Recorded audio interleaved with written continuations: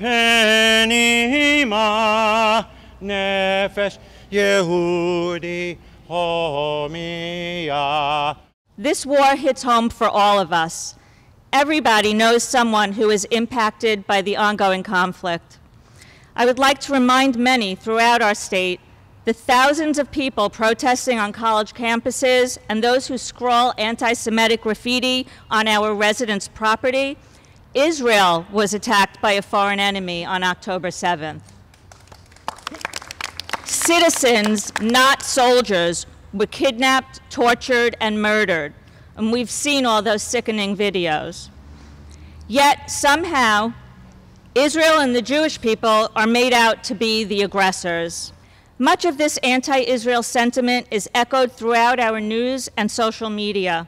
And it's deeply troubling that despite all of the atrocities perpetuated against the Jewish people just in the last century, that anti Semitism continues to rise, even in our town. We have never required a public safety presence like this for a flag raising for, before, but you just never know. It's truly sad that simply celebrating our heritage puts us at risk.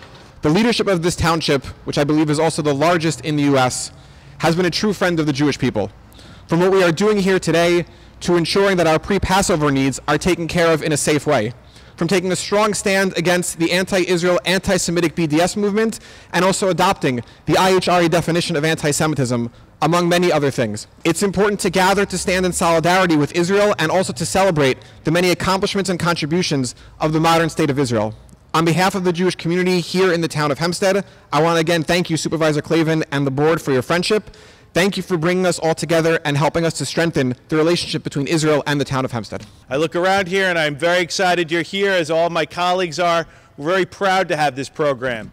And now more than ever, every municipality should have programs like this. You know, at the level of anti Semitism, I've never seen before in my 20 plus years of experience in government.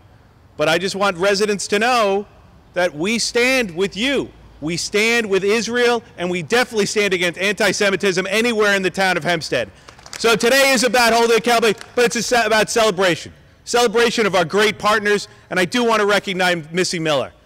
Missy said, Don, when are we going to do the flag raising? Let's put it together. We were going to do it at a different time. She said, oh, let's do it before the town board meeting. Let's invite, invite the students.